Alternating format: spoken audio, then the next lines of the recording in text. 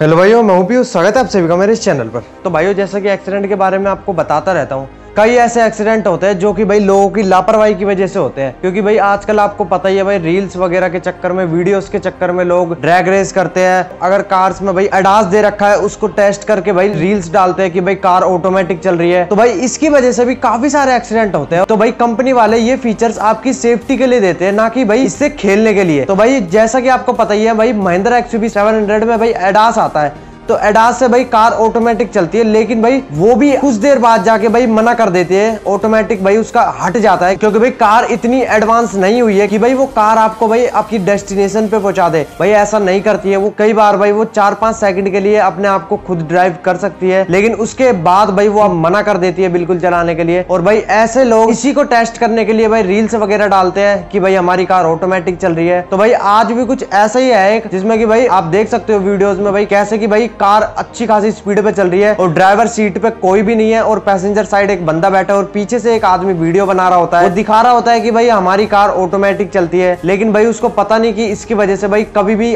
आपके साथ एक्सीडेंट हो सकता है भगवान ना करे ऐसा हो लेकिन भाई अगर एक्सीडेंट हो गया तो भाई इसमें कौन जिम्मेदार होगा तो भाई ऐसी गलती आप बिल्कुल मत करो कंपनी आपके सेफ्टी के लिए फीचर्स देती है ना कि खेलने के लिए तो भाई बस ये था इस वीडियो में अगर आप चैनल पर सब्सक्राइब कर लेना थैंक यू